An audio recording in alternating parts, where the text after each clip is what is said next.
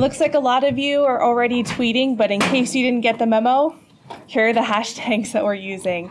Feel free to tweet, uh, and that's my handle on Twitter if you want to get in touch. My, as Tristan said, my name is Lisa Catto.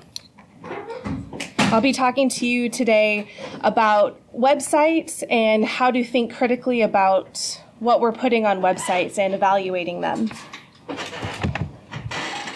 This project is my master's thesis at Portland State University. It's on the west coast of the US in Oregon.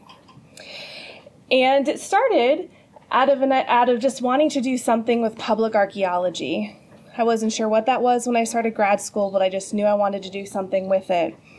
I have a background in digital communications. That's my current career, public relations and social media. So I knew in terms of public archaeology, I wanted to combine that with my background. And my advisor and I started just doing a lot of reading about public archaeology.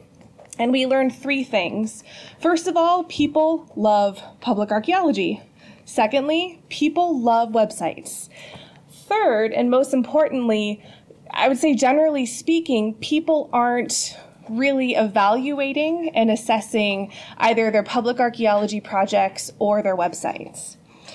So that's kind of where this project came to be. Originally, we thought, okay, I'll make a website for my master's project.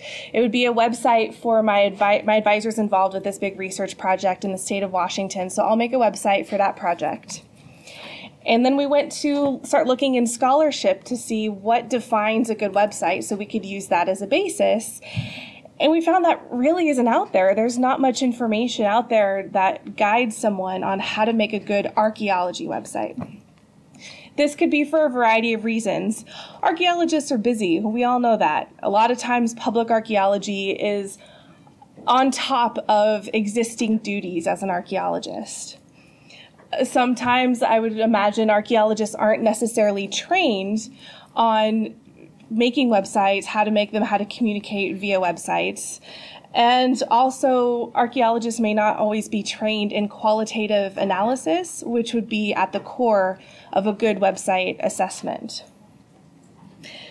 What we wanted to do with this project is to bring the standards of academic rigor to the idea of websites.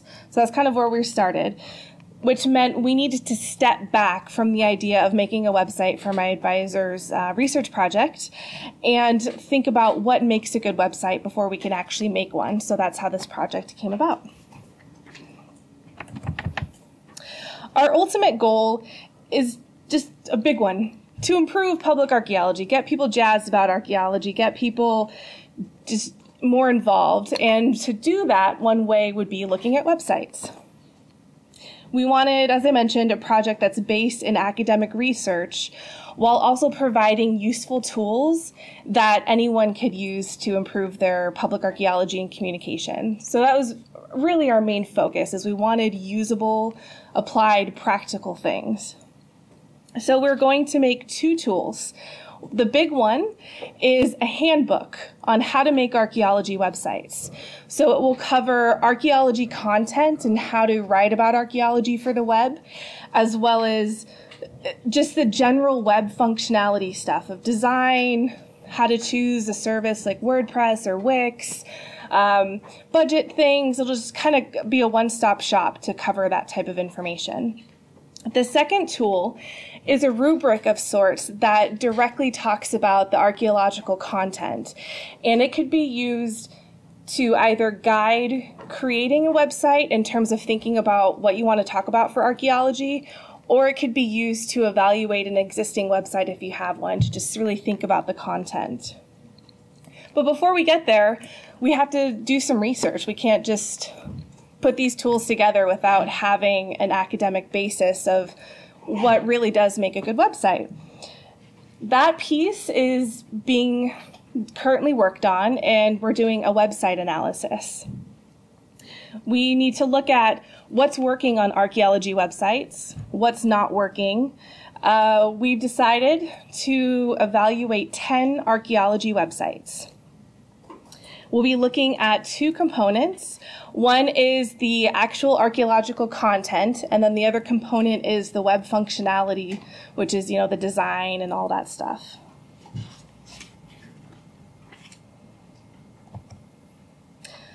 For our methods on this website analysis, this is the portion that has to do with website functionality. It's basically the look and feel and usability of a website. And these are the pieces that are relevant to all websites. It doesn't just have to be about archaeology. We thought we can't just look at archaeology content. I mean, imagine a website that has great information about some archaeological project that you're really interested in. But as soon as you go to that website, it plays music and the background color is bright yellow and the text is hot pink. Are you going to want to stay there? Are you going to want to send your friends there? No, right? So we can't just talk about how to communicate archaeology well. We need to really be talking about the design and some of those pieces. So as you can see on here, these are some of the components that we'll be looking at as part of this website analysis. Uh, for example, under content and style, we'd be looking at how readable the text is, and I'll talk about how we do that in a little bit. Fortunately, there are a lot of resources out there that really establish best practices in website functionality, and that's been super helpful. But for someone who doesn't have a background in this, it can be really overwhelming trying to wade through all of the stuff out there talking about, you know, how what good design looks like and all those pieces. As I mentioned earlier, there really isn't a lot of guidance out there for archaeological content. So, whereas we've got a lot of resources for the website functionality, we're sort of struggling with the content side of things. I would imagine that if all of us in this room were asked to write down maybe the top five or 10 take home messages you would want someone to have about archaeology, they would be pretty similar. I think archaeologists have a few general things that we all agree upon that we want people to know. But we haven't necessarily rallied around those ideas. It's not like here's the list of the 10 basic tenets of archaeology that we're always, always communicating we decided we needed something like that to form the basis of this website analysis for the content. We needed to be able to look at all of these webs, these 10 websites in terms of what kind of messages are they conveying. And we went to this book. My advisor and I lovingly call it the Bible, Oxford uh, Handbook of Public Archaeology. And Franklin and Moe have a chapter in there where they provide five themes for archaeological literacy and education. And we found that we think that these five themes would work really well for website analysis. So they some of them are pretty self-explanatory, but it it gets at ideas of stewardship or explaining to the public how we know what we know, what's the methodology, how can the non-archaeologist public interact with archaeologists and engage. So we thought these five themes were a really good start for evaluating the archaeological content of these websites. So we've got the two areas that we're looking at on these websites. We've got the website functionality, and then we've got the the themes, archaeological content. So what websites are we actually doing? Dun, dun, dun, we divided them into four categories. First is media outlets. We've got Current World Archaeology Magazine and Archaeology Magazine. We've got research projects. We're doing Archaeology in Annapolis, Chocolat Project, and West Point. We've got professional organizations, the Archaeological Institute of America and the Society for American Archaeology, EAA, you're off the hook for now. And for education, we've got Day of Archaeology, Project Archaeology, and the National Park Service's Public Benefits of Archaeology web pages. So those are the 10 sites that we're looking at. And we'll be evaluating each based on metrics we've established that fall under either the website functionality or the archaeological content and themes categories. We quickly learned through starting this analysis that we had to set up we came across a couple issues while setting up the protocol. So for this qualitative content analysis, I've created a protocol and I'm just kind of running through that with every page I'm, I'm assessing. But two issues came up pretty quickly. Some of these websites are huge. I'm sure you can imagine how large the website for Archaeology Magazine is because they're always putting out different articles, right? The other issue is the variation in size. Some of those websites are enormous and other ones are pretty small. So, how do we proceed with that? For example, Current World Archaeology has nearly 2,000 pages, whereas the Chocolat Project only has about 31. So that means the magazine's 62 times larger in terms of their website. So I'm sure a lot of you are thinking, sample size, what are they doing?